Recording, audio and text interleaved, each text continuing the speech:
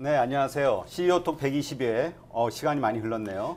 어, 오늘은 공기청정기 클레어의 회사의 이우헌 대표를 모시고 어, 여러 가지 말씀을 나누도록 하겠습니다. 오늘 갑자기 사정이 생겨서 이제 고피디님은 자리를 비우셨고요. 오늘 저하고 두 분의 일일 MC 세, 명, 세 분이서 어, 일을 진행하도록 하겠습니다.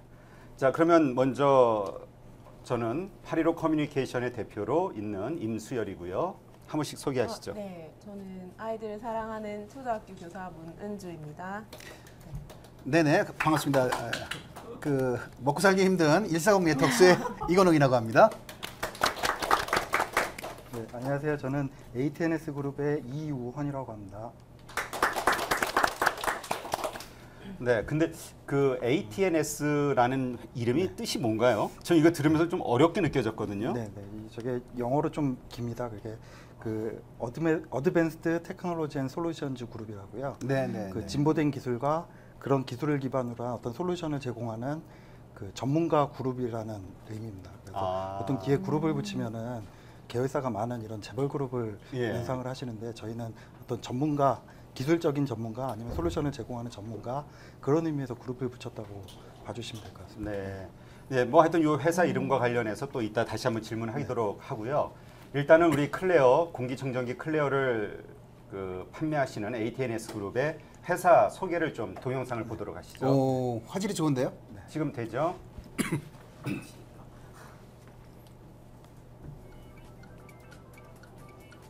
Waking up with morning alarm? No, with clean air, Claire.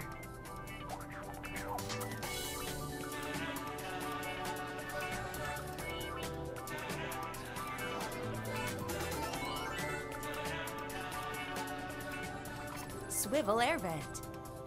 180 degree rotation, pure air to the direction you want.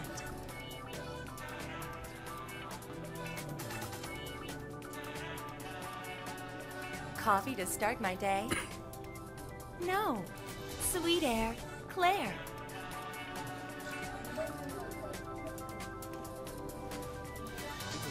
Mm.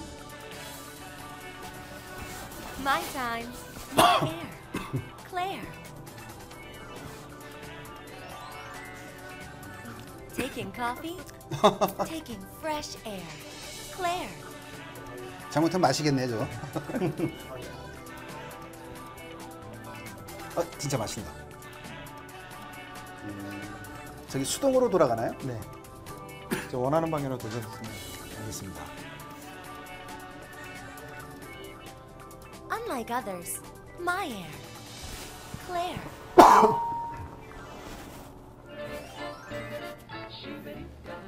어 분홍색도 있네요. 저거는 하반기에 출시하려고 아 네. 컬러만 네. 맞춰놓은 겁니다. Easy to carry. USB connection anywhere.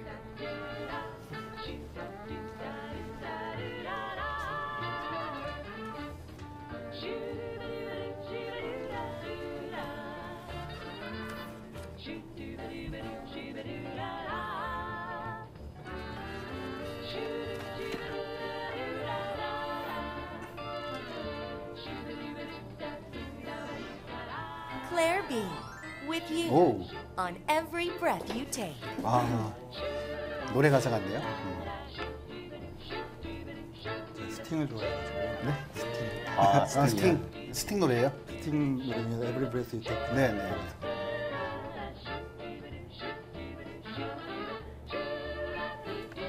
설마 이 노래도 스- 스팅 노래인가요? Innovative combination.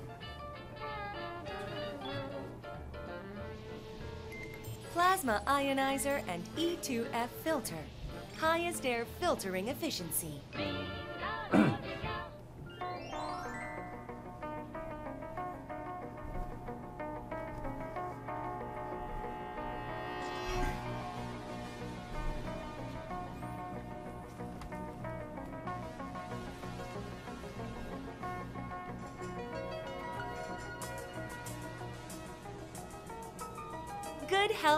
Flows with good air. 이따 말씀하실 때는 네, 저쪽을 보시면 네, 네. 아주 또 화- 화면이 잘 나옵니다. 네. Fresh and creative idea with Claire. 이게 그러니까 저 크라우드 펀딩 하실 때 보여주셨던 영상들인가요? 네.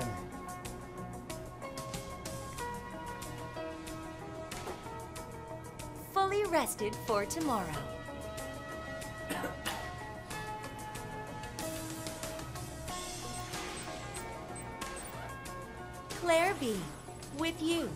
On every breath you take.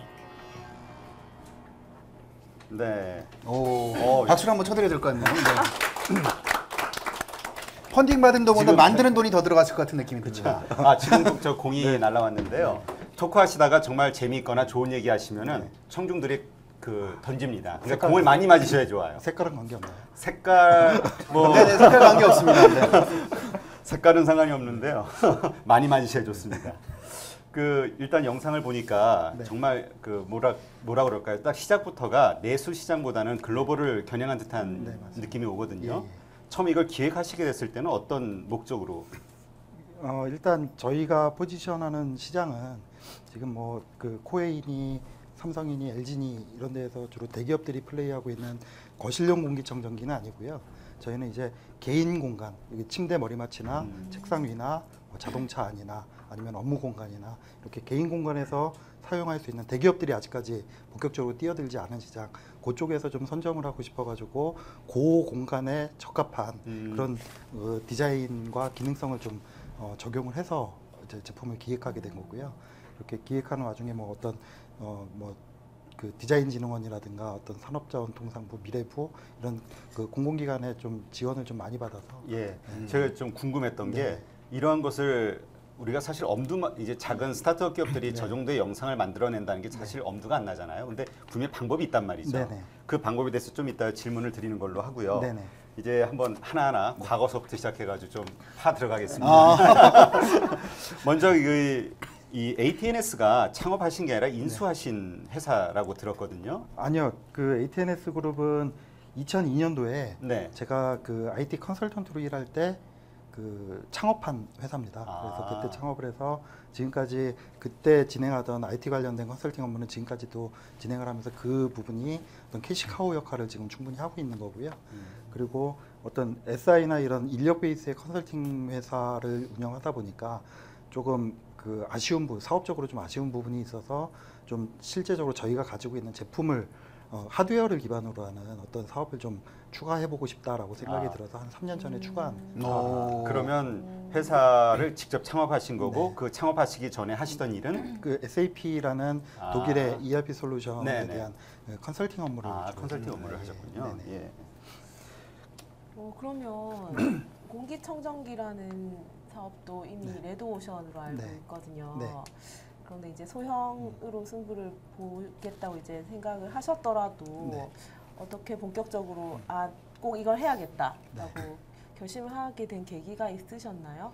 일단 저희도 이 제조업을 진행하기 전에는 많은 여러 가지 것들을 좀 고민을 해봤었습니다. 네. 고민해봤었는데 아무래도 좀 그 사회적인 이슈하고도 좀 맞아 떨어져야 음, 되고 네. 저희가 뛰어들었을 때 경쟁을 할 수 있는 그런 그 중소기업에 적합한 어떤 네. 그런 운동장이 또 필요한 것 같더라고요. 그래서 좀 이것저것 검토를 해보니까 그 공기청정기가 레드오션이라고 하지만 그 부분은 아직까지 대기업이 뛰어들고 있는 음. 거실용 공기청정기에 대한 레드오션이지 아. 요즘 급증하고 있는 1인 가구들을 대상으로 하는 음. 어떤 1인 가구 네. 대상의 소형 가전 이쪽 시장은 저희가 뛰어들 때는 레드오션보다는 블루오션에 가까웠었어요. 음. 음, 아 그럼 이제 아 이거다 하고 네. 뛰어드신 것보다는 사업을 찾고 찾고 찾으시다가 네. 적합한 걸 분야를 그쵸. 찾으신 예, 거네요. 예. 그러니까 10년, 네. 10, 아, 지금 한 15년 정도 사업을 진행을 했는데 네. 그걸 진행을 하면서 컨설팅 업무도 하다가 어떤 유통 쪽도 제가 한번 경험해 보게 해서 음. 그 비슷한 업무도 한번 해보고 음. 그리고 뭐 소프트웨어를 직접 개발을 해보고 어, 해외에서 네, 네. 소프트웨어를 수입해서 유통도 해보고 이런 여러 가지도 해보면서 하드웨어 쪽을 다시 한번 좀 해보고 음. 싶다라는 생각이 좀 많이 들었고요. 음. 그리고 결정적으로는 저희가 음, 자동차 그룹 쪽에 이제 컨설팅 업무를 좀 많이 했습니다. 그래서 어. 거기를 다니다 보니까 아. 제조업이라는 어떤 분야에 대한 아, 좀 네. 매력도가 좀 많이 높았고요. 예, 금융하고 유통 뭐 이런 데보다는 음. 제조 쪽이 컨설팅하면서 만나신 분들도 좀 많이 좀 순진하시고 굉장히 좀 솔직하시고 좀 다혈질이기도 하시면서도 좀 소통이 잘 되고 뭐 이런 여러 가지 좀 매력적인 부분이 좀 많이 있더라고요. 어. 네. 어, 대표님하고 맞으셨네요. 어, 근데 우리가 일반적으로 하- 알기에는 예, 요즘 얘기하는 거는 제조업은 좀 비전이 없다라는 얘기도 있잖아요. 서비스업으로 가야 된다. 네네. 국가 정책에서도 그런 이야기들이 화두로 나오고. 근데 반대로 생각하시네요. 근데 요즘 최근 한 2, 3년 그 이전일 겁니다. 아마 제가 관심을 가진 이후부터는 저는 생각을 하니까 제가 관심을 가진 이후부터 전 세계적인 동향이 그 Makers Movement라고 그래가지고 음. 좀 어떤 아이디어나 뭐 이런 것들을 가진 사람들이 하드웨어 쪽으로 뛰어들 수 있는 그런 좋은 환경들을 좀 많이 음, 그 보여지고 있어요. 그래서 뭐 Arduino라든가 뭐 Raspberry Pi라든가 음. 이런 것들하고 연동을 시키는 IoT하고 연동시킨 뭐 어떤 하드웨어 기기라든가 뭐 이런 것들을 만드는 운동들이 어 많이 발전하고 거기에는 또 3D 프린터라는 어떤 한 축이 또 그거를 하는데도 큰 일조를 음. 했었고요. 그래서 제가 보기에는 사실은 킥스타터나 인디고고를 저희가 스터 그 스터디를 하면서 느낀 건데 아 우리나라에서는 제조업이 좀 네. 조금 뒤, 조금 순위가 네. 떨어진다라고 음. 생각을 하시는데 해외에서는 이미 많은 사업들이 돌고 돌다가 아 다시 제조업. 제조업을 아. 진행을 하는 것이 좋겠다라는 방향을 세운다라는 느낌을 받았어요. 아, 네. 그래서 그거를 저희가 하다 보니까 그 정부 지원 사업이나 이런 거를 뛰어들더라도 제조업을 영위를 하면은 정부에서도 그런 네. 생각을 해주시는 것 네. 같아요. 아무래도 그 고용 창출에 대한 어떤 효과를 내는 데는 제조업만큼 사실은 좋은 게 없다 네. 보니까 그런 쪽으로도 지원이 더 많이 나오고 뭐 전체적인 사회적인 움직임도 그렇고 최근에는 그 한국의 스타트업 기업들의 좀 흐름들을 보면은 예전에는 소셜 에스, 그 쇼핑 같은 네. 거 그리고 거기서 뭐 이렇게 점차 발전을 하면서 어 결국은 IoT까지는 지내갔다가 O2O니 뭐 이런 그 IT 서비스 기반의 스타트업들이 많이 생겼지 않습니까? 우리나라 같은 경우에는. 그리고 최근에 우리나라도 하드웨어 스타트업들이 이제 하나둘씩 네. 늘어나고 있어요. 그런 추세를 본다면은 아마 제조업으로 다시 이렇게 턴하는 그런 시기가 다시 오지 않을까라는 생각이 좀 많이 음. 근데. 그 우리가 얘기하는 제조업이라는 게 이제 꼭 직접 공장을 가지고 이렇게 직접 제조하는 것만이 아니들, 그렇죠. 아니더라도 네. OEM을 통해서 하더라도 자기 프로덕을 가지고 있는 네. 그걸 판매하는 걸 말씀하시는 예, 거죠. 그러니까 제조업이라는 그 범위 자체가 제품에 대한 기획력과 아이디어 그리고 그거를 상품화하는 데까지의 어떤 네. 기술 개발 음, 네. 그런 정도까지만 있어도 사실은 그 만들 수 있는 거는 뭐 인도든 뭐 음. 중국이든? 어디든 많이 네. 있으니까요. 사실 나중에 킥스타터 얘기가 나오면은 다시 말씀을 드리겠지만 네. 킥스타터를 하는 과정을 보면은 정말 그런 하드웨어 스타트업이 어떻게 이루어지고 있나라는 하나의 라이프 사이클을 좀 다 훑어볼 수 있는 그런 계기가 될 수 있을 것 예. 같아요. 예. 그건 이따 우리 따로 네. 얘기하도록 네, 하고요. 네, 예. 그 히스토리를 보게 되면 네. 그 2002년에 아까 말씀드린 대로 공동 창업이나 창업 멤버 이렇게 네. 일을 하셨다가 2009년도에 조인호 대표님에게 인수를 네. 하셨잖아요. 어, 그 과정에서 그러니까 창업 당시 네. 그다음에 자연스럽게 CEO가 바뀌는 네, 어, 이런 과정에서 얻었던 교훈 같은 거 이런 교, 교훈은 다른 쪽에도 상당히 도움이 될것 그렇죠. 같은데 네. 그 해주실 말씀이 어떤 게 있을까요? 사실은 그 과정이라는 게 사실 조인호 대표라는 분하고 저하고 공동 창업을 한 거였고 아, 처음에요? 그분은 네. 경영을 맡아서 진행을 하신 거고 저는 사실 컨설팅이나 이런 엔지니어 아이, 네, 분야의 네, 네. 어떤 실제적인 그 일을 수행하는 그런 역할을 진행을 하다가 이제 어느 정도 어 회사가 성장을 진행을 하면서 이제 그러면서 또 어려운 시기도 이렇게 겪게 네, 되잖아요. 네, 네. 그래서 그때가 2009년도가 아마 그 IT 쪽 네, 네. 그때가 한번 음. 굉장히 어려웠던 네. 네, 네. 시절로 알고 있어요. 그래서 그때 조인호 대표가 조금 아 그러면 나는 이제 경영을 하기 위해서 overhead cost로 회사에 있기가 사실은 좀 부담스럽다. 부담스럽다. 실제적으로 네가 일을 하면서 경영을 하고 자기는 한 발 빠져서 다른 일을 해보겠다라고 해서 자연스럽게 좀 교체가 된 네, 것 같아요. 예. 그 말씀을 들어보면 굉장히 스무드하게 서로 네. 어, 조직을 위해서 양보한 이런 네. 경우인데 네. 에, 다른 데하고 비교 비교해 보면 이런 경우가 좀 많이 발생할까요? 어떨까요? 다른 데는 되게 이렇게 갈라서잖아요. 그렇죠. 근데 네. 갈라서는 회사도 분명히 이유가 있겠지만 그래도 서로 한 7년 8년 저는 네. 그 이전에 조인호 대표는 제가 예전에 LG에서 일할 때부터 같이 일했던 동료이기 때문에 아, 전자에서 저- CDS에서 저는 LG CNS. 그 당시에는 EDS라는 네, 네. 회사에 음. 지금은 CNS. CNS요? 네. 거기서 일할 때 만났던 동료이기 때문에 한 10년 이상 좀 음. 어떤 유대감, 어떤 신뢰감 이런 것들이 형성된 사이였고 일을 할 때도 그런 부분에 대해서는 역할 구분이 확실했기 때문에 좀 그런 거에 있어서 좀 그렇게 그 충돌이 많지는 않았는데 요즘 다른 데 보면 이렇게 공동 창업해 가지고 이렇게 갈라지. 갈라져- 달라지는 많죠. 경우들이 더 많이 보이는 것 같습니다. 그러면 뭐 특별히 그 과정에서 뭐 거래처라든가 아니면 직원들과의 사이에서 어떤 네. 신뢰를 더 다지기 위해서 하셨던 어떤 액션이나 뭐 이런 건 없었죠? 그때 제가 이제 그 대표이사로 취임을 하면서 바뀌었던 분위기는 이전에는 이제 인력이 이제 좀 서비스를 하는 그런 예. 서비스 기반의 회사였는데 이제 제가 어, 취임을 하면서 해외에 이런 third-party 솔루션들을 수입을 해서 직접적으로 소프트웨어 라이센스 판매하는 아, 사업을 좀 많이 추가를 했습니다. 그래서 매출액이 좀 고 라이센스 매출 볼륨만큼은 성장을 했기 때문에 그런 부분에 있어서 자연스러운 성장이라고 그럴까요? 음. 네, 그렇게 있었는데 그거에 대한 뒷받침이 될 수 있는 거는 아무래도 조인호 대표가 좀 양보를 해줘서 회사에 재무적으로 조금 더 여유가 생기니까 음. 제가 그 부분을 어, R&D라든가 기술 개발 쪽으로 좀 어, 돌릴 수가 있었기 때문에 그런 어, 좀 분위기로 전환이 됐었을 것 같습니다. 네. 예. 음, 그럼 대표님 네. 이 일을 하시면서 그런 이제 성장의 보람, 네. 뭐 또는 이제 오르는 매출 이런 거 말고도 또 가장 보람이 있는 부분이 어떤 걸까요?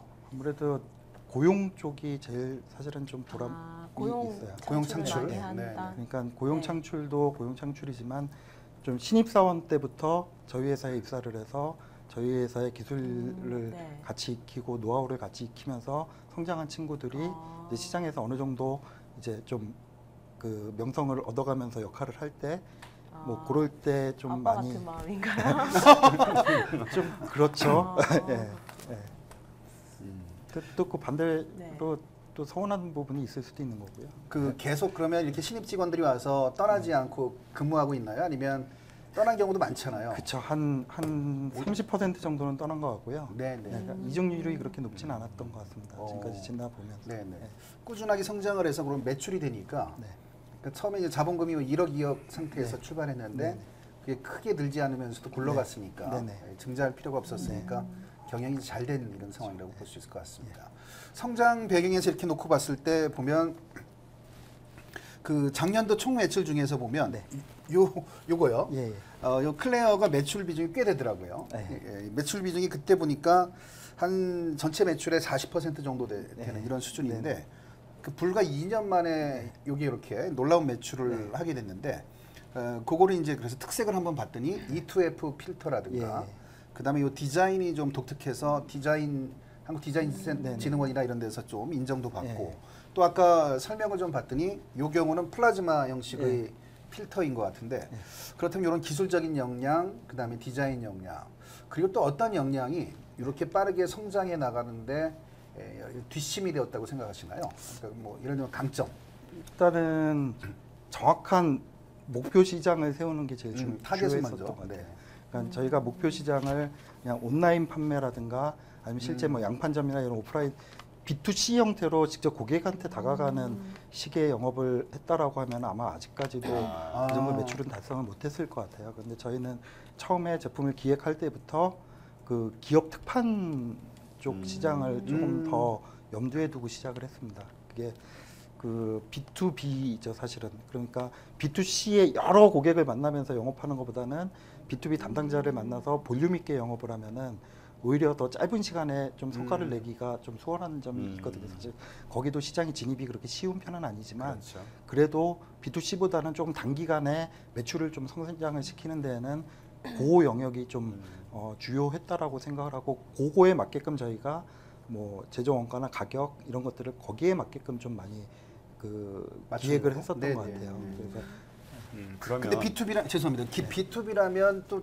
처음 듣는 분들은 좀 네. 생소할 것 같은데 예를 들면 그게 어, 어떤 뭐 그 대행을 그 유통을 대행하는 업체인지 아니면 뭐 기업체 선물을 하는 쪽으로 요걸 가지고 들어간 건지 좀 궁금해하실 것 같아요. 보통 그런 그 특판이라고 하면은 그 크게 두 가지 시장이 있는데 기업의 선물 시장입니다. 그래서 음. 추석, 설날, 네네. 그리고 5월달 근로자의 날, 그리고 창립기념일.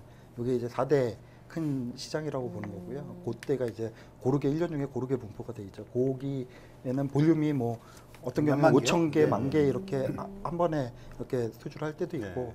그 시장이 있고 또 하나의 시장은 요즘 복지 포인트 같은 걸로 아, 네, 네, 네. 어, 음. 임직원들이 자사 자기들만의 어떤 폐쇄몰이라고 하죠. 폐쇄몰에 네. 들어가서 포인트를 가지고 구매한다든가 하는 그런 형태의 온라인몰이 있는데 그쪽에 진입을 한다든가 하는 두 가지 방법으로 저희는 네네. 진입했습니다. 배달의 민족도 이게 전에 뭐 배민 같은 데도 그런 네. 복지 포인트 묘- 몰이 있잖아요. 예. 그런 쪽도 공략하셨나요? 그게 어디까지나? 일일이 어디까지 들어가는지는 제가 잘 아, 모르고요. 뭐 알면 네. 다친다는 말씀이시네요. 네. 아, 그런데 진입하기가 네. 말을 하지 말라는 거지. 진입하기가 어려운 거 예. 아닌가요? 그렇죠. 그래서 경우에는 경쟁사들이 많을 예, 텐데. 사실 처음에 저희가 2014년 3월인가 2월에 이제 브랜드를 런칭을 했습니다. 2년 조금 지난 거죠. 네네. 사실 좀 미친 짓을 많이 했어요. 런칭하자마자 런칭하자마자 TV 광고까지 했습니다. SBS 오. 공중파 TV 광고까지 어, 했는데 굉장히 공격적이네요. 와. 그 목표는 사실은 대부분 TV 광고를 했다 그러면은 그 고객들을 대상으로 해서 음. 광고를 B2C 했다라고 가 생각을 타겟이죠, 했을 건데. 네. 저는 그냥 거꾸로 생각을 해서 자 TV 광고를 우리가 할 정도의 마케팅 역량을 가지고 있으니 음. 벤더들이 우리한테 신뢰를 좀 가져줬으면 네네. 좋겠다. 모이시오. 우리 물건을. 음. 팔아줬으면 좋겠다라는 거를 보여주기 위해서 사실 저희는 그 런칭하자마자 TV 광고, 라디오 광고를 그걸 타겟으로 해서 딱 두 달 치고 빠졌습니다. 아, 그러니까 돈을 많이 있었나요? 들이는 것보다는 그렇게 한번 하면서 벤더들한테 우리가 할 수 있는 역량과 어떤 신뢰감 그리고 앞으로 우리 제품에 대한 비전 이런 것들을 심어주고 나면은 그 다음부터는 사람과 사람 간의 relationship이잖아요. 네, 네. 네. 그때는 광고비가 들지 않고 차라리, 차라리 뭐 밥이라도 한번 먹으면서 얘기를 나누면서 풀 수 있는 문제들이니까 그런 적당한 벤더들을 찾기 위한 방법으로 저희는 초창기에 좀 그 마케팅 비용을 좀 많이 들였죠. 근데 근데 그- 어쨌든 그게 비용은 지출하셨지만 네. 원하던 그런 목표를 충분히 달성이 됐나요? 충분히 그것 달성을 한 것? 같습니다. 네. 예. 그 여쭤보는 길에 그 그렇다면 광고를 했을 때 보통 어, 광고 타임 때라든가 요게 또 이슈가 되잖아요. 네네. 그러니까 어, 골든 아워라든가 네네. 6시부터 9시 사이나 그렇죠. 요런 때 하는 것도 방법이지만 보통은 오전 시간이나 야간 시간 어떤 때 하는 게 어, 이왕 어, 비슷한 패턴으로 나가시려는 분들도 계실 거예요. 네. 그렇다면 우리는 이렇게 했더니 효과가 있었다. 저는? 저는 주말에 주말에요. 주말에 뭐 슈퍼맨이 들어왔다 뭐 이런 프로들 있잖아요. 네. 그 프로 바로 직접 로열 로열 타임이잖아요. 거기가 특급 시간은 아니고요. 네네. A급 A급 정도 시간이었던? 것 같아요. 그런데 그것도 사실은 제가 비즈니스 하면서 제 돈으로 이렇게 100% 투자를 해가지고 하진 않아요. 그게 사실 어떻게 보면은 제가 지금까지 해왔던 어떤 사업의 노하우라고 볼 수 있는데 그런 것들은 사실 중소기업 지원 네. 아. 벤처. 방안 중에 있습니다. 그래서 벤처나 뭐나 이렇게 신청을 해가지고 되면은 아마 70%인가 80%를 지원받는 할인된 거죠. 가격으로 광고를 넣을 수 있게끔 돼 있어요. 음. 그래서 사실 그런 시간을 그냥 일반 기업들이 제 돈을 내고 다 한다라고 음. 하면 아마 2, 3억 정도 이상은 들 건데 저희 같은 경우에는 그렇게 해서 뭐 평일날 끼워놓고 주말에 끼워놓는다라고 해도 한 2, 3천만 원 이내에 네네. 예, 광고는 집행을 할 수가 있었어요. 한 사실은. 주예요? 한 주간에? 그렇죠. 예. 네. 사실 그런데 그런 그 마케팅 리소스를 만드는 게 오히려 돈이 좀 많이 들지 음. 중소기업들은 사실 그런 것들을 할 수 있는 그런 여러 가지 지원책들이 많이 있기 때문에 네. 그런 것들을 충분히 활용하면 될 것 같아요. 광고를 한번 봤었거든요. 네네. 오, 어 인연이 있으셨네. 그 여자가 리무진에서 내리면서 네. 음. 이렇게 컵처럼 들고 네. 내리는 장면을 봤어요. 그러고 아 저거 참 신기하다라고 네. 생각했었는데 또 어느 순간 이 광고를 더 이상 못, 보, 음. 못 보고 잊어버리고 있, 잊고 네. 있었거든요. 음, 그게 깨져서 네. 그래요. 아니면 근데 분실됐거나. 지금 일단 이 디자인 자체가 네. 저희가 봐도 좀 네. 아주 심플하고 이쁘거든요. 네네. 근데 어쨌든 이 작은 처음 제품을 만들어내는 그 업체에서 네. 이런 디자인이 나오기까지 참 많은 우여곡절이 있었을 것 같아요. 좀 설명 좀 해주시죠. 다른 누군가도 음. 이렇게 똑같이 제품화를 할 때 어떻게 디자인 작업을 잘 할 수 있는지. 처음에는 제 친구한테 디자인을 좀 해달라고 외주요? 음. 아니요 친구. 외주도 아니고 친구한테 친구요? 네. 술 한잔 사줄 때 아, 디자인 돈좀한 해줘. 그래서 그거를 받았는데 사실 처음엔 잘 모르니까 저도 제조업이 처음이었어요. 네. 잘 모르니까 만들어 놓고 나니까 너무 이상한 거예요. 음. 그러니까 친구한테 욕은 못 하겠고 그냥 아 고맙다 이건 내가 집에서 첫 번째 제품을 잘 가지고 있을게라고 하고 그 얘기, 얘기해도 되나요 방송으로요? 안볼 겁니다. 유튜브에 기록은 남는데. 예. 네. 그래서 그렇게 해서 첫 번째 거는 음. 이제 망가뜨렸고요. 그리고 나서 시도했던 거는 이제 뭐 업체 이름을 얘기를 해도 될 것 같은데 네, 네, 그 라우드소싱이라는 디자이너들을 모아놓은 풀들이 있어요. 예. 그래서 아. 거기에 이런 컨셉의 디자인을 해주시면은 1등은 얼마, 2등은 얼마 이렇게 시상을 네, 네, 거는 네. 형태의 예, 시상. 컨테스트 형태의 어떤 디자인을 하는 그 컨테스트를 하는 게 있습니다. 그래서 음. 그쪽에 한번 올려서 저희가 그 지금 오늘 안 가지고 나온 어떤 이런 원통형 디자인을 처음에 만들었어요. 음. 네. 그거를 좀 상용화시켜서 제품화를 했고요. 그리고 그 제품을 기반으로 해서 디자인 진흥원의 또 그 디자인 프론티어 사업이라고 이런 네. 디자인 아이디어가 있으면 그거를 디자인화 시켜주는 네. 그런 지원 사업이 있었습니다. 그래서 그 지원 사업을 그 또 받아서 그래서 디자인한 게 요거의 바로 전 모델입니다. 아 이거의 음, 전 모델. 네. 거기 네모난 거 말은 뭐 아니요, 동그란 건데 요거는 약간 각진 동그란 거고요. 그건 아주 둥글둥글한 음. 게 있습니다. 그래서 그게 이제 그렇게 해서 된 거고요. 그걸 이제 리비전 해 가지고 나온 것들이 지금 현재 모델입니다. 음. 처음 시작은 그렇게 친구 지인에서부터 시작을 해서 이제 그렇죠. 천천히 눈높이를 높여가다가 결국은 지원 사업을 통해서 좀 많이 도움을 받았다고 저도 이거 디자인 할 수 있을 네. 것 같은데. 그러니까 지금 예, 보니까 저도 그 대부분의 네. 그 스타트업이나 벤처 하시는 분들이 갖는 첫 번째 약점이 처음부터 완벽한 거를 만들려고 맞습니다. 하다 보니까 아예 아무것도 못 하더라고요. 네. 시작이. 예, 예. 음. 근데 이제 말씀하신 것처럼 단계별로 그 단계별로 나왔던 제품들이 전부 본전 이상 어떤 이익을 회수하셨나요? 그 첫 번째 거는 친구한테 그 마음속으로 욕하고 그냥 끝내고. 거 빼고 그 다음에는 제대로 제품화가 돼서 어느 정도 다 그 ROI는 넘 마음에는 완벽히 차진 않았지만 네네. 그래도 단계별로 진전할 수 있는 예. 전진할 수 있는 그런 건 네. 됐다는 네. 거죠. 어, 근데 금형비도 꽤 나오는데 다 플라스틱 금형 이렇게 하려면 네. 사출 금형 하려면 몇 천에서 억대가 들어가는데 억대가 들어가죠 보통. 그게 다 나, 나왔어요. 모델이 여러 가지인데요. 네네. 어. 근데 이제 킥스타터에서 이제 펀딩을 성공하셨다고 네네. 이제 나오더라고요. 근데 보통 킥스타터는 미국인만 할 수 있는 거 아닌가요? 음 여러 가지 방법이 있는데요. 네. 일단 저는 미국의 법인이 하나가 있어서 아, 미국 그래서. 네, 그래서 그 법인을 통해서 진행을 했었는데 음. 사실 그거를 대행해 주는 회사들도 있습니다. 아, 그렇, 예. 그래요? 이용하셨나요? 그 등록 대행을 해서 해주는 회사도 있어서 거기를 뭐 미국에 법인이 없다면 거기를 이용을 하셔도 되고, 음. 예, 뭐 저한테 요청을 하시면 제가 저희 미국 주재원한테 네. 이렇게 연결을 해서 또, 또 등록해 주실 수 있는 방법도 있을 것 같고요. 그러면 이게 지금 펀딩에 성공이 됐잖아요. 네네. 얼마 이게 어떻게 성과가 어느 정도 나왔죠? 우리나라 돈으로 한 7천만 원 조금 넘게 받은 것 같아요. 음. 네. 기간은 기간은 저희가 4주 잡았습니다. 4주 예. 잡고요. 근데 실제로는 3일 만에 되- 와- 완료가 됐잖아요. 그러니까 목표 금액을 워낙에 작게 잡아서 음. 그건 3일 만에 완료가 됐는데 사실 킥스타터의 그 그래프를 보면은 그래프가 이런 모양으로 올라갑니다. 그래서 초반에? 예, 올라 쭉 올라왔다가 그다음에? 정체되는 듯 있다가 마지막에 한 2, 3일 남겨 놓고 이제 음. 다시 확 치고 올라가는 그런 그래프가 대부분 전형적인 그러면 그래프. 그분들이 펀딩을 하는 이유는 뭔가요? 그 제품이 나오면 뭐 할인을 받나요?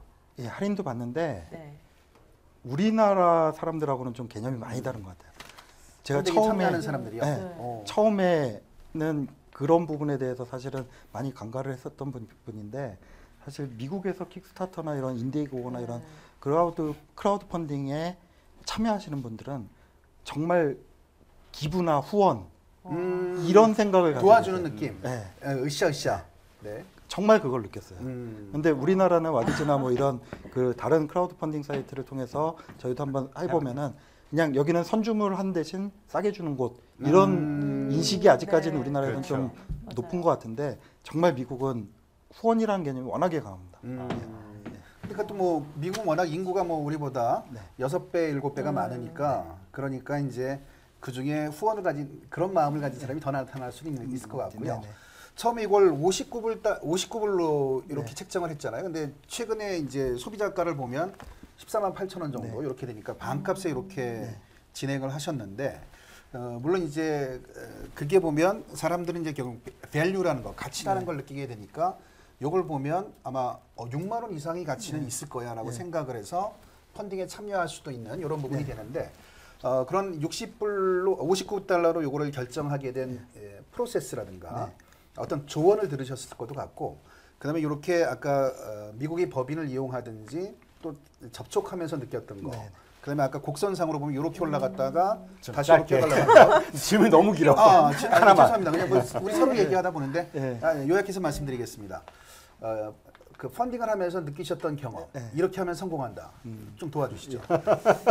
질문을 하- 여러 개 구체적으로 하시다 가 갑자기 뭉뚱그려서 아, 뭐 시키는 힘 없어요. 이 자리에서 뭐 끌려 내려갈 수도 있기 때문에. 네. 첫 번째 질문하셨던 게 왜 59불로 네. 했느냐라는 부분이셨던 것 같은데 그 부분은 사실 킥스타터를 제가 시작을 왜 했는지에 대한 부분부터 좀 먼저 네, 네, 말씀을 네. 드리는 게 좋을 것. 같아요. 사실 제가 한 3년 전인가 해외 출장을 갔다가 이제 면세점에 우연히 들려가지고 제품을 어. 이렇게 구경을 하는데 요 제품 한개 중에 녹색 스티커가 하나 붙어 있더라고요. 아, 그래서 그래요? 그걸 보니까 그렇게 썼어요. 킥스타터에서 펀딩 받았어요라는 음. 걸로 아. 영어로 써 있습니다. 근데 음. 어 이게 뭐지? 이거 누구한테 투자받은 게 이렇게 제품에서 선전을 할 정도의 밸류가 있는 건가라고 하고 음. 그 제품 한번 사봤거든요. 그래서 그 제품을 사가지고 와가지고 이제 킥스타터를 쳐봤죠. 근데 킥스타터라는 사이트가 아 내가 생각했던 그런 뭐 쇼핑 온라인 쇼핑몰 네. 사이트가 아니구나. 음. 아, 그리고 여기서 펀딩을 받았다라는 의미가 무엇인가를 좀 곰곰이 생각했을 때 킥스타터라는 어떤 그런 플랫폼에서 펀딩을 받았다라는 거는 단순히 돈을 받았다라는 게 아니라. 그 사람들의 마음이나 음. 어떤 그 사람들이 생각하는 네. 밸류를 제가 제공할 수 음, 있다라는 네. 신뢰를 줬다라는 예. 거거든요. 음. 이제 그런 생각을 드니까 아 그럼 나는 이제 신제품이 런칭이 될 때는 저기를 한번 도전을 해봐야 음, 되겠다라고 네. 이제 생각을 하게 됐어요. 네. 그래서 그거를 이제 킥스타터를 해야 되겠다는 생각을 먹고 이제 제품을 거기에 이제 끼워 맞췄죠. 네. 근데 오. 킥스타터에 이 올라와 있는 제품들을 보면 대부분이 아이디어가 굉장히 참신하거나 그렇죠. 아니면 기술적으로 굉장히 혁신적이거나 음. 예, 아니면 공익성을 많이 띠거나 뭐 이런 음. 유의 제품들인데 사실 공기청정기라는 게 그 세 가지 부류에 포함을 시키기가 사실 쉽지가 않거든요. 네. 그래서 단순한 공기청정기로 해가지고 크라우드 펀딩에 참여를 하면은 그 고객들의 어떤 지지를 받기 전에 킥스타터 스태프한테 먼저 잘리겠다라는 생각이 음, 들더라고요. 예. 아, 그러니까 뭔가 좀 뭔가 달라야지 어필할 게 되겠다. 있어야 된다 이런 예, 말씀이군요. 예, 뭔가 네. 달라야지 되겠다라는 거를 생각을 해서 이제 이런 텀블러형 휴대용이고 그리고 공기의 방향을 바꿀 수 바꿀 있고. 수 있는 어떤 user experience 기반의 어떤 디자인을 적용한다든가 아니면은 정화 기술 자체도 좀 이해하기 쉽지만 굉장히 설득력 있는 음, 그런 정화 거. 기술 네. 이런 것들을 좀 조합을 해가지고 어떤 제품화를 하게 된 거, 제품을 기획을 하게 된 거죠. 네. 그래서 제품을 기획을 해서 이제 크라우드 펀딩까지 이제 가게 된 겁니다. 그런데 그 과정에서 아 펀딩이 잘 된 제품들은 어떤 제품인가라는 네. 거를 음, 좀 조사를 분석을 했어요. 하셨어요? 네, 가격대는 얼마고 네. 어떤 음. 기간 어느 정도 기간을 했고 왜 동영상은 어떤 방식을 흐름으로 만들고. 만들어져 있고 그리고 제품에 대한 우리 뭐 온라인 상세 페이지라고 하죠. 거기 스토리라고 하는데 스토리를 어떻게 짜고 음. 이런 것들에 대한 공식이 있더라고요. 네. 그래서 음. 아그 공식에 맞게 하려면은 어, 가격은 요 정도에서 다음 단계로 뛸 때 어느 정도 수준으로 뛰어야 되고 뭐 동영상은 어떻게 만들어져야 되고 이런 부분이 조금 이제 감이 좀 네. 오기 시작하더라고요. 음. 네. 그러면 좀 마침 이제 동영상 얘기가 나왔는데 아까 봤던 그 영상에 네. 대해서 나온 거잖아요. 그렇죠. 예. 근데 사실 아까 비용 문제 예, 예. 예, 그것도 있고 또 말씀하신 대로 하려면 그렇게 페이지 하려면 영문으로 제작을 해서 네. 디자인 작업하고 네. 그것이 또 viral이 되게 하- 여러 가지 작업들이 있잖아요. 그 그렇죠. 공식상. 예, 예. 그 공식상대로 하려면 들어가야 되는 필연적인 그 비용들 예. 어떻게 해결하시는지. 성공하려면 진짜 돈이 많이 듭니다. 네. 어. 그 왜냐하면은 그 좀 이해를 도와드리려면 지마켓의 어떤 그 공기청정기라는 제품으로 검색을 하면은 지마켓 내에도 아마 수만 가지 수천 나오죠. 개가 네, 네, 아마 나오죠. 나올 거예요. 그런데 그 중에서 첫 번째 페이지에 올라오지 않으면은 음. 그 제품을 이제 고객이 못 보죠. 못 선택할 보게 수가 되니까 없죠. 네. 예, 펀- 후원을 받을 기회조차 음. 없는 거거든요. 그래서 처음에 무조건 프로젝트를 런칭된 다음에는 무조건 첫 번째 페이지에 올릴 수 있을 만한 트래픽이 일어나 줘야 네. 되거든요. 음. 그래서 그 트래픽이 일어나 주게끔 하려면은 동영상도 매력적이어야지 되고 페이지도 괜찮아야 되고 그리고 지인의 힘들도 많이 빌려야 되고 그 사전에 어떤 홍보나 이런 것들도 좀 이루어져야 되고 이런 여러 가지 것들이 있는데 그렇죠. 그 요- 요소 중에서 이제 하나씩 하나씩 말씀을 드리면은 첫 번째 동영상 같은 경우에는 사실 저 정도 동영상을 만들려면은 아마 한 2, 3천만 원 정도 이상의 그 정도 비용이 들죠. 들 겁니다. 근데 그거는 저희가 그 정부 지원 자금 중에서 마케팅 비용으로 예, 네. 지원 자금이 있습니다. 그래서 네네. 거기서 아마 80%인가 70%인가는 정부 지원 자금으로 이제 소싱을 하고 그리고 이제 제 동영상을 만들었죠. 그런데 동영상을 만들 때 항상 목적 의식이 흐려지더라고요. 아. 처음에는 아, 킥스타트에 올려야 되겠다라고 해서 만들었는데 그러면은 써먹어야지. 1분 30초나 1분 이내에 만들어야 돼요. 길게 그렇죠. 잘안 보잖아요. 예. 그러니까 짧게 만들어서 많이 보게끔 만들어줘야 되는데 어, 이게 막상 2, 3천만 원의 돈이 들어가면은 아 이거를 전시회에서도 틀어야 되고 그렇죠. 잘라가지고 페이스북에서도 써야 되겠고 그렇죠. 막 이런 생각이 생기죠. 들어서 네네. 이게 점점 길어지더라고요. 음. 그래서 처음에 그냥 아 그럼 길게 만들자 길게 만들고 그 다음에. 음. 잘라서 편집을 했습니다. 그래서 킥스타터 같은 경우에는 편집 비용을 추가로 더 들여서 이제 편집을 했고 음. 와디즈에 그 동영상 올릴 때는 그때는 제가 직접 long 버전으로 네. 편집 그 책 보면서 이렇게 잘라가지고 예, 해가지고 제가 직접 편집을 했었고 그러면서 좀 비용을 좀 어, 절감? 절감을 시켰고요. 아. 그리고 동영상 얘기를 하나를 더 드리면은 우리나라에서 만드는 대부분의 동영상은 기승전결 형태예요. 네. 스토리가 있는 이. 제품이 왜 필요하냐? 네. 라면서부터 시작해서 제품이 이래서 필요하다. 네. 그러니 뭐다. 음. 네. 이건데 사실 모바일에서 사실 킥스타터 많이 보거든요. 그래서 네네. 킥스타터를 딱 켜가지고 동영상 플레이 버튼을 딱 눌렀을 때 제품이 먼저 나오자면 안 봐요. 한, 한 펀치. 네. 30초 이내에 이 제품이 뭐다라는 게 먼저 나오는 다음에 음. 그러니까 미괄식이 아니라 두괄식이어야 되는 거죠. 네.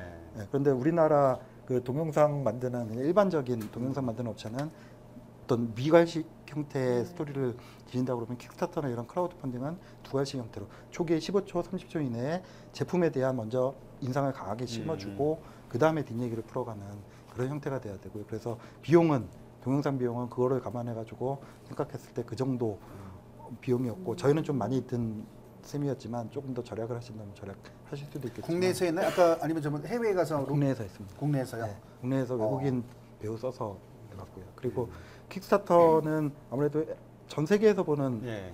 거기 때문에 조금 조금 아쉽지만 배우들은? 동양 동양인이 동영상에 등장하는 그 거보다 등장하는 거를 별로 선호하지 않았던 것 음. 같아요. 제가 분석을 했을 때 성공한 프로젝트는 대부분 해외. 예. 그리고 그 전에 중국이나 이런 업체에서 펀딩 받고 제품 안 내고 이렇게 좀 사고를 낸 케이스들이 음, 그렇죠. 있어요. 아, 네. 네, 그래서 동양인이 이렇게 제품을 올리는 거에 대한 좀 신뢰도나 불신. 이런 것들이 좀 많이 떨어져 있는 상태라고 저는 판. 근데 지금 말씀하신 것처럼 그렇게 했어요. 네. 나 이거 만들어서 네. 줄게. 네. 59불에. 네. 근데 제가 못 만들었어요. 네. 약속을 못 지켰을 때 네. 페널티가 있나요? 페널티는 없습니다. 그러니까 네. 철저하게 그 선택하는 소비자들의 네. 그냥 모험이네요, 그냥 맞습니다. 말 그대로. 예, 예. 그래서 그냥 전형적인 후원이라고 하는 거고 늦어질 것 같으면은 왜 늦어졌다라고 그 사람들하고 소통을 해가지고 풀어주면은 음. 그럼 그 사람들은 이해를 기다려주는 거. 네. 네. 네.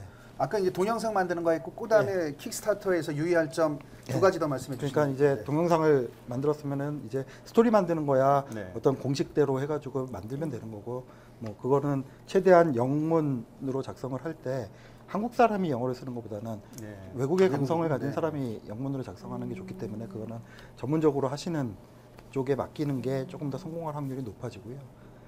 그리고 그 사전에 저는 저희는 좀 촉박하게 진행하느라 진행을 못했는데 사전에 페이스북이나 이런 음. 것들을 통해서 자? 미리 launching을 음.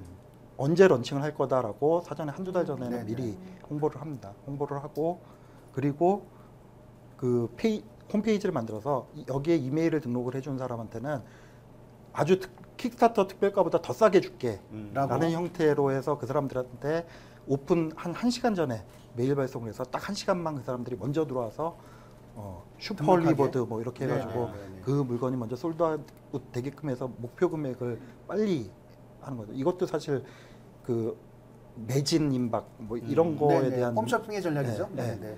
네. 그좀 효과, 네. 좋거든요. 네. 그러니까 그거를 오픈 전에 너희들한테만 주는 혜택이야라고 하면서 그 사람들이 먼저 들어와서 이제 할 수 있는 그런 사전 마케팅 음. 그런 것들이 필요하고요. 그리고 언론 홍보도 좀 어느 정도 네. 진행이 돼야 됩니다. 그래서 그 외국의 신문사나 어떤 이런 미디어 같은 데에 미리 기사들을 노출을 시켜놓고 자 우리 제품은 미리 이런 음, 데서 노력을 조명을. 했고 음. 그리고 관심을 많이 갖고 있는 제품이야라는 거를 기사 어느 기사에 나왔었다라는 걸 이렇게 그 배너 형태로 하나 보여줘도 그게 신뢰도가 굉장히 높아진다고 네, 그렇죠. 그러더라고요. 네. 그래서 그런 그 사전 마케팅 그런 것들이 좀 많이 중요했던 것 같아요. 근데 이제 하신 거예요, 그러면요?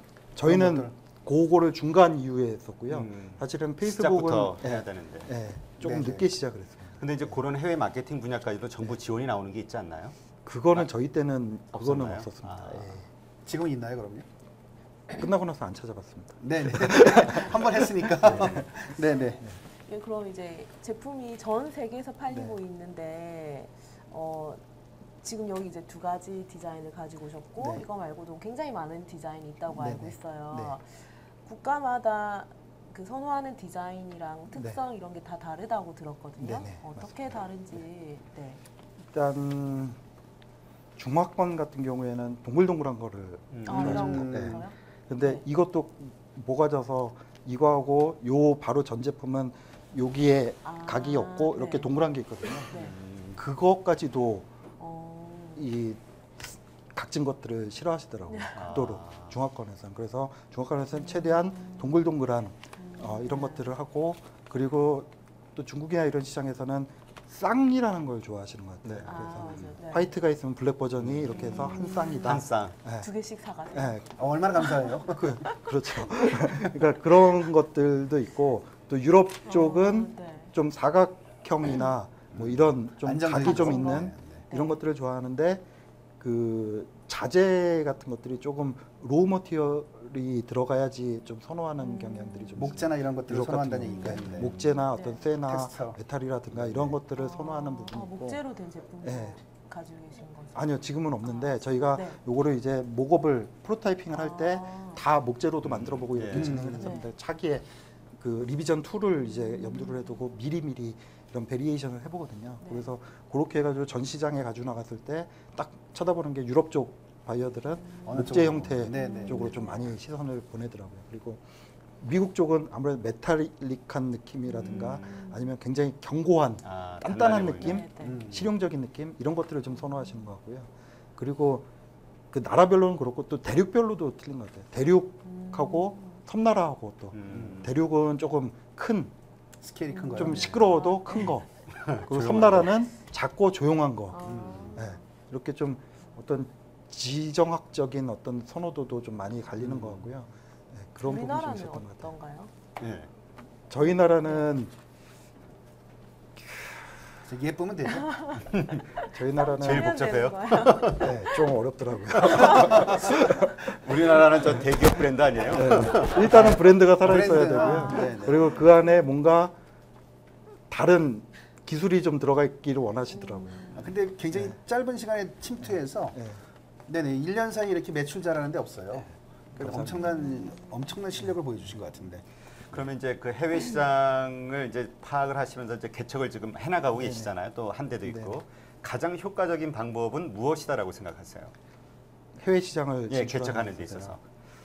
일단은 전시회나 이런 데를 가서 많이 보여주는 게 제일 중요한데 어, 음. 저희가 기존 이제 IT를 하면서 스타트업 개념으로 네. 요 제조 사업부를 시작을 한 거거든요. 음. 그래서 철저하게 이 조직은 스타트업의 사고 컨셉을 가지고 진행을 해야지 된다라고 생각을 했기 때문에 뭐 린 스타트업 방식이나 어떤 음. 스타트업 기업들의 어떤 경영 방식 이런 것들을 좀 많이 스터디를 네. 했습니다. 그래서 저희가 린 스타트업의 개념을 좀 많이 도입을 한 게 사실 이 제품이고 린 스타트업의 개념이라는 거는 MVP라고 그래서 최소 요건을 가진 제품 네네. 그러니까 완벽하지 않더라도 음. 누구한테 보여주고 피드백을 받아서 개선할 수 있는 네네. 정도 상태의 제품을 이제 그 MVP라고 하는데 그 제품을 가지고 많이 시도를 하면서 컨택을 많이 하는 게 중요한 것 같았어요. 음. 그래서 저희도 디자인 모건만 가지고 네. 6개월 동안 해외 전시를 다녔습니다. 아, 네.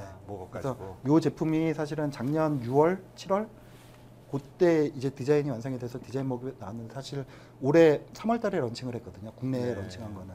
근데 그 기간 동안에 저희가 제품을 만들지 않고 제품 만들기 시작한 거는 올해 1월달부터 금형 파가지고 이렇게 준비를 한 거였고요. 그 6개월 동안은 디자인 mockup 그러니까 아주 무거운 이 네. 깎아서 사람이 손으로 깎아서 만든 그 mockup만 가지고 어떤 거는 메탈 느낌 어떤 거는 음. wood 느낌 이렇게 가지고 전시회 가서 사람들한테 바이어들한테 직접 보여주고 우리가 이거 만들 건데 음. 이거 만들면 이게 살 생각 있냐? 그리고 이거는 어느 정도 가격대였으면 괜찮겠느냐? 여기에 뭐 무슨 기능이 들어갔으면 좋겠느냐? 이런 것들을 전시회를 통해서 많이 만났죠. 그러면서 했는데 더 제일 그래도 컸던 거는 전시회에서 그렇게 사람 만나는 거는 한정된 공간에서 한정된 사람들만 만나는 거잖아요. 네, 그렇죠. 그런데 킥스타 터는 사실 저희를 후원해 주신 분이 41개국인가 그래요 전 세계에 아. 네. 그러면서 그거를 저희 거를 다시 기사로 퍼가지고 날라준 곳도 음. 한 10여 개국 정도가 되고요. 그러면은 그 바이어들이 전 시장에는 오진 않았어도 그런 킥스타터나 이런 매체들을 보고 그렇죠. 어, 아이디어를 주시고 보고 연락을 피드백. 하는 네네. 경우도 많이 있었던 것 같아요. 그래서 마케팅 용도, 사전 마케팅 용도로는 제가 보기엔 전시회보다는 킥스타터가 가장. 강력했던 것 같고 오히려 네.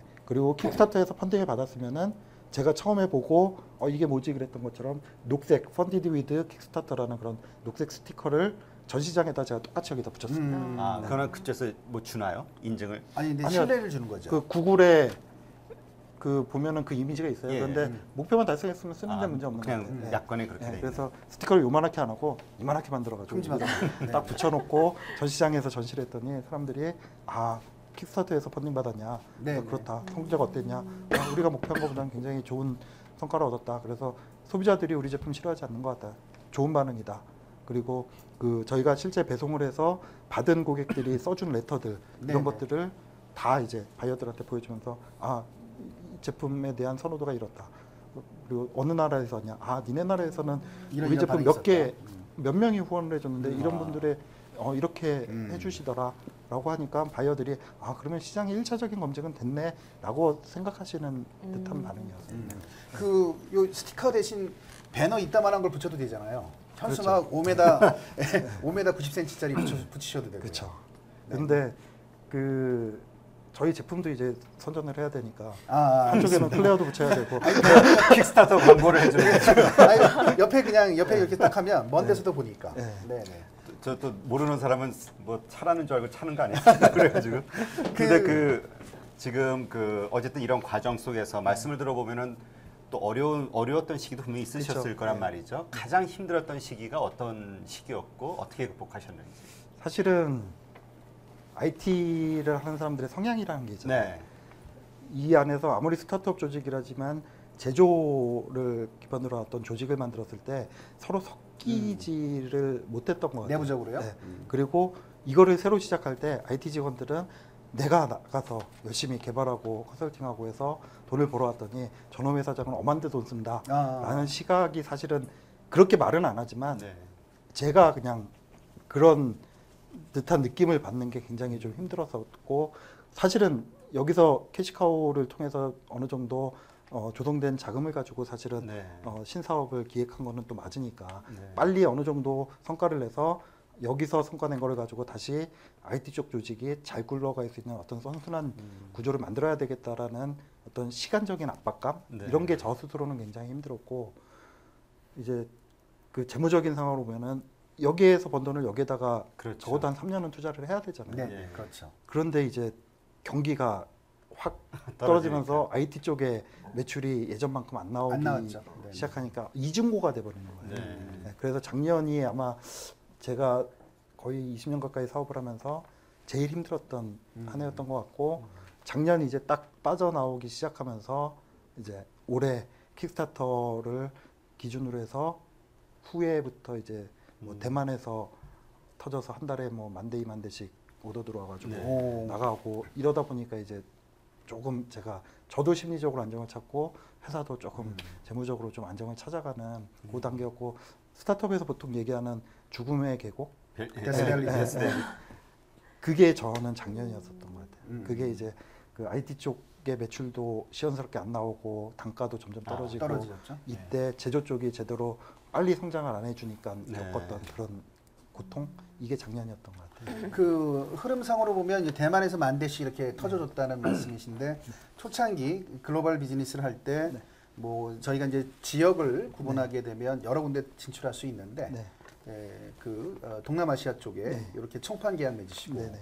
어, 그 다음에 또 다른 지역도 이렇게 해 나가시는데 어, 요 소형 가전의 그 해외 진출 전략에 대해서 나름대로 고민하신 부분은 어떤 부분이 있으신가요? 정말 소형 가전에 대해서 어떤 마켓을 만들어야 되겠다라고 하신다면 저는 섬나라를 추천하고 싶어요. 섬이요. 네. 일본이나 일본, 뭐 인도네시아, 대만, 인도네시아. 뭐 영국, 뭐 이런 네네. 네, 섬나라. 왜냐하면 섬나라 사람들은 그 인구 밀도가 일단은 되게 굉장히 높잖아요. 높죠. 네. 예. 인구 밀도가 높다 보니까 어떤 생활가전이나 헬스케어나 이런 부분에 대한 관심이 높고 그리고 집이 자- 집 자체가 작잖아요. 작죠.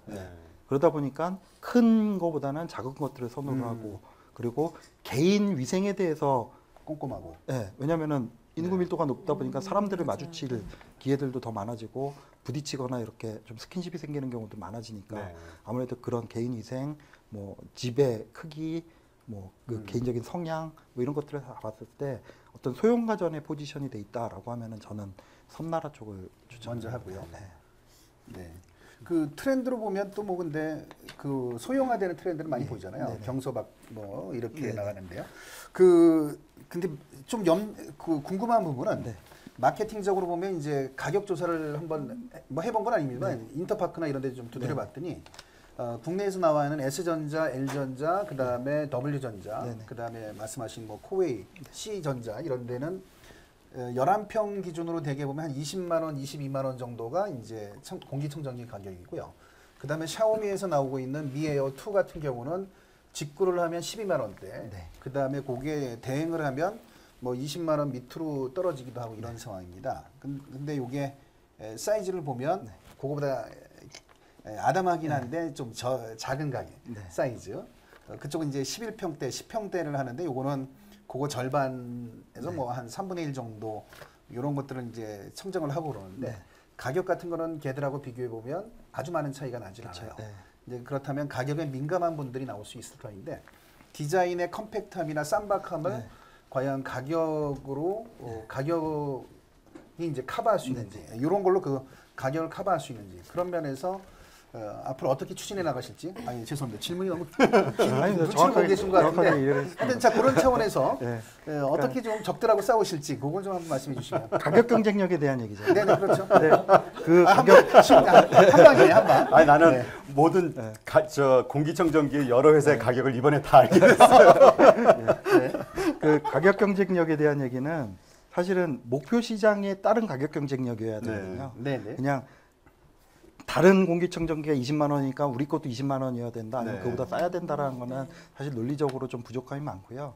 우리가 목표하는 시장에 들어가려면은 얼마에 들어가냐라는 그런 네, 네. 정확한 그 타겟팅이 되어야 되는데 아까도 제가 말씀드렸다시피 저희는 소매보다는 B2B, B2B. 네. 선물용 시장 쪽을 더 targeting을 한다라고 생- 얘기를 드렸고 그리고 수출 쪽을 또더 음, 네. 포커스를 맞춘다라고 내수보다는 수출 그리고 소매보다는 도매 이런 쪽으로 좀 더 포커스를 맞춘다라고 하면은 저희의 고객은 소비자들이 최종적으로는 소비자들이겠지만 네. 제가 직접적으로 상대하는 고객들은 그 그걸 하는 vendor 네, 아니면은 음. 수출하기 위한 수입상 에이전트. 바이어 네, 이렇게 네. 되잖아요. 네, 네. 그러면 그 사람들이 목표하는 가격을 줘야지 됩니다. 음. 근데 대개 뭐 수출할 때는 국내 가격보다 네. 에, 한참 쌓여야 되잖아요. 그 그렇죠. 쪽도 마진이 높아야 예, 되니까. 예, 그러니까 한국에서 비즈니스 하기보다 더 어려울 터인데 예. 그걸 어떻게 극복하시나요?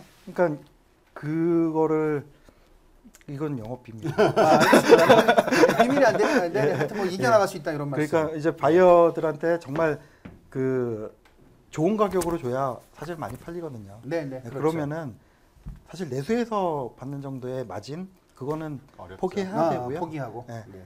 박리담회로 나가는 수밖에 없습니다. 네, 수출은. 네, 네, 네, 그래서 그냥 한 대 팔면 얼마 남지가 아니라 네. 한 컨테이너 나가면 얼마 남지 이 생각을 가져야지 그냥 아 이거 한 대 팔면은 뭐 한 2천 원 남는데 3천 원 남는데 그러면 못 하고요.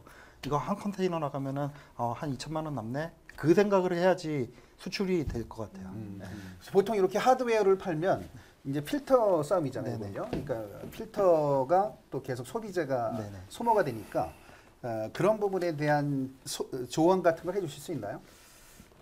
조언이요. 네네. 그러니까 보통 뭐 잉크젯이라든가 네, 레이저 프린터 같은 거 하면 기계는 뭐 10만 원인데 더 비싸잖아요. 네. 토너가.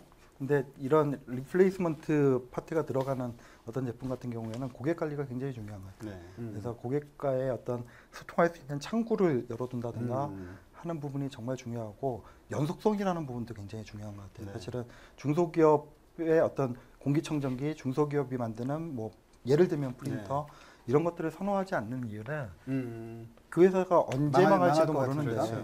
네. 내가 AS. 올해 샀는데 내년에 망해가지고 음. 필터 못 사면은 이- 이거 버리는 거 음, 아니냐라는 생각을 가질 것 같아요. 그래서 기업의 연속성에 대한 어떤 신뢰 그리고 그것들을 어, 고객한테 정확하게 전달하기 위한 어떤 마케팅 채널 음. 이런 것들이 굉장히 중요한 것 같습니다. 그런 쪽에서는. 네.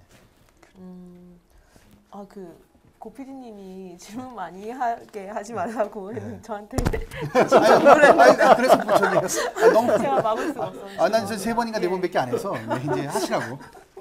아, 저 이제 여기 와 계신 분들이 제일 궁금해 하실 것 같은 걸 질문을 드릴게요. 사실 서민, 일반 서민으로서 전기세가 제일 네. 걱정이거든요.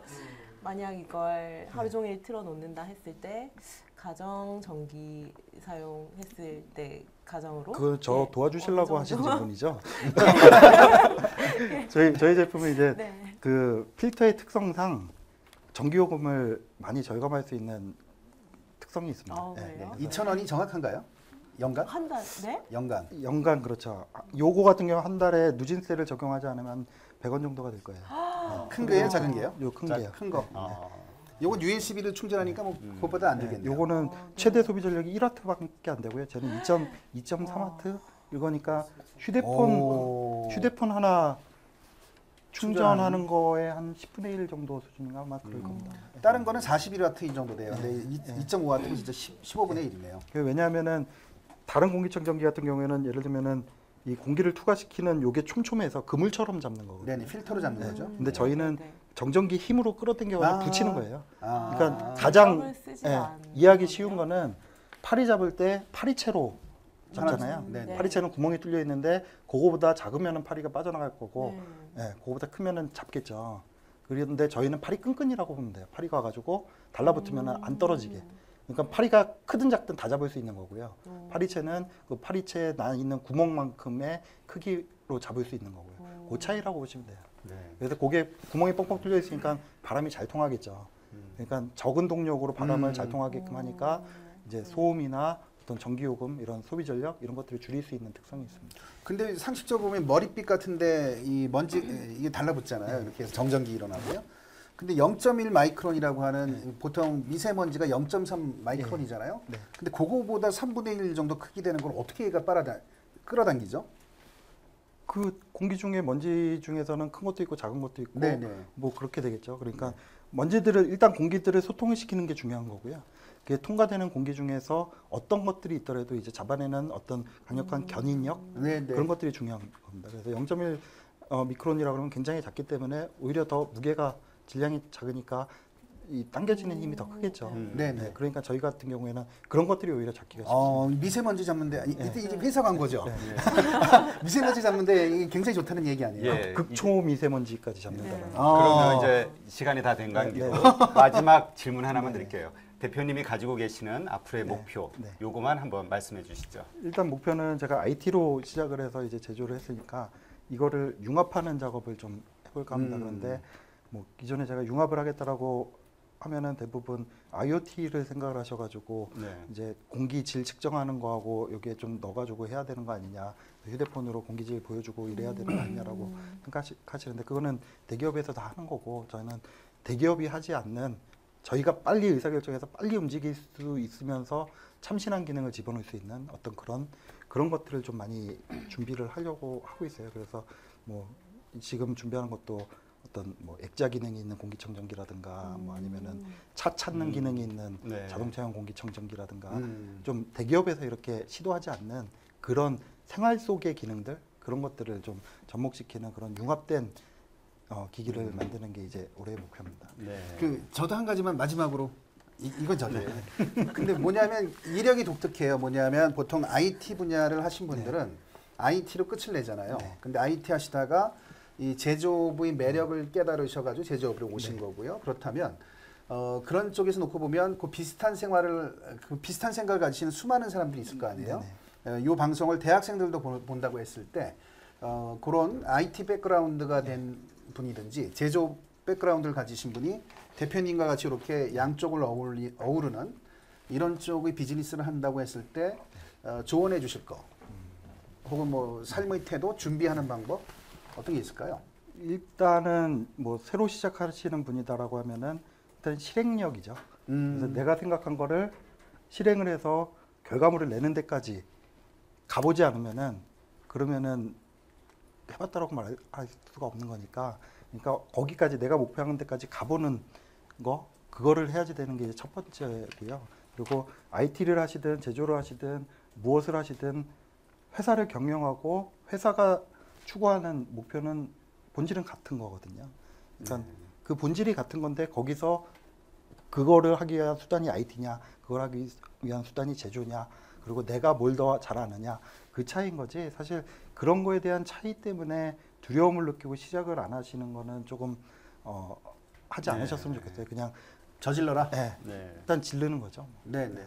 근데 그러려면 꿈을 많이 높이 높이 가지는 게 중요한가요? 아니면 작은 거라도 한번 해보는 걸 하면서 꿈을 크게 가지는 게 중요할까요? 일단은 저 같은 경우에는 저는 떠벌리고 다니는 스타일이에요. 네, 네. 네. 벌리고. 목표를 높게 잡고 적게 잡고 보다는 나 나 이런 이거 거 할. 거야, 할 거야. 어, 라고 얘기해놓고 나중에는 제가 그 사람들한테 창피해서라도 실행을. 하게끔 음. 저는 그런 스타일이고요. 그리고 또 다른 사람들은 자기들이 어떤 실행력을 내기 위한 어떤 다른 여러 가지 방법들이 있겠죠. 있겠죠. 그 네. 나름의 방법대로 목표까지 가보는 게 중요한 거지. 음. 거기에 뭐 어떤 방법을 통해서 가느냐는 그렇게 중요하진 않은 거예요. 네, 오늘 CEO TOK 122회 공기청정기 클레어를 생산 판매하시는 저 ATNS 그룹의 이우헌 대표를 모시고 이제 여러 가지 이야기를 들었고요. 이제 온라인 방송 여기서 마치는 걸로 하겠습니다. 오. 네. 어, 질문도 있을 거 아니에요? 아, 근데 우리가 없다. 네, 노, 아이패드가 네. 없어서. 진행은 임설 대표님이 컨트롤하시고 네. 네. 저 여기에서는 매주 이러한 모임이 있는데요. 다음 주에는 5월 30일이죠. 오장선 오강선 저자죠. reading and fitness라는 주제로 있게 될 거고요. 6월 3일, 13일. 6월 13일인가요? 6월 6일이 예. 예. 네, 그 다음에 우서밥 최상호 대표의 CEO TOK 방송이 오. 있습니다. 여기 미리 그 그날 그 일일 MC로 하실 분들은요, 뭐 온라인 시청자 가운데서도 그렇고요. 고우성 PD께 저 메일 보내주시면 됩니다. 혹은 저 쪽지, 페이스북 쪽지로 신청을 해주시면은 그날 일일 참여하실 수 있어요. 오. 잘하시잖아요, 두 분. 네네. 아, 별거 없어요. 네. 네, 다 하실 수 있습니다. 있어요. 신청하시고요. 어, 중간에 자를 때 조금만 짜면 짜주시면 돼요.